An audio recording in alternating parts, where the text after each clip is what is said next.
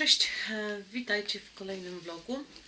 Wczoraj byliśmy na koncercie Orkiestry Reprezentacyjnej Wojska Polskiego, który miał miejsce w Bełchatowie w Kościele. Był to e, koncert kolęd i pastorałek. Rewelacja, puszczę Wam kawałeczki. Zobaczycie jakie cudne, e, harmonijne brzmienie wręcz orkiestry symfonicznej. Było mnóstwo muzyków plus chóru mm, męsko-żeńskiego, rewelacja. Puszczę Wam kawałki, także myślę, że będzie Wam się to podobało. No i dzisiaj popakowałam właśnie sól. Tej nie wysyłam, bo e, dam ręcznie e, w Gdyni. Sól, kadzidło, zestaw taki. E, Jest to sól ochronna dla domu i tutaj macie instrukcję, że nie wolno jej dotykać rękoma. Czyli bierzecie szczyptę na łyżeczkę, rozsypujecie w, na parapetach i na progach drzwi wejściowych.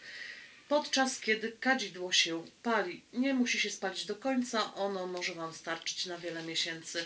So, sól również. E, bardzo e, fajnie rozsypałam wszystko do cna, nic mi nie zostało. Jedna dla mnie, druga dla osoby, która odbierze sól na żywo. A e, dzisiaj albo jutro pobiegnę do na pocztę i to wszystko powysyłam, także już będziecie mieli. E, Jeżeli komuś zioła nie dotarły, to też dawajcie znaki. To będę sprawdzała numer przesyłki, bo wszystkie awiza mam, cały plik.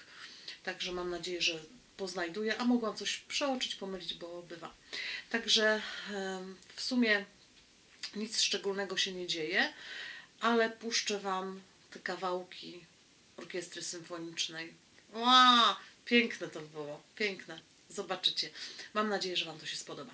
To ja już się z Wami, tak jak przywitałam, tak się żegnam. Taki dzisiaj wcale nie przegadany vlog, ale muszę Wam pokazać, jak było cudnie wczoraj. Przed Państwem reprezentacyjny zespół artystyczny Wojska Polskiego pod dyrekcją Tomasza Labunia.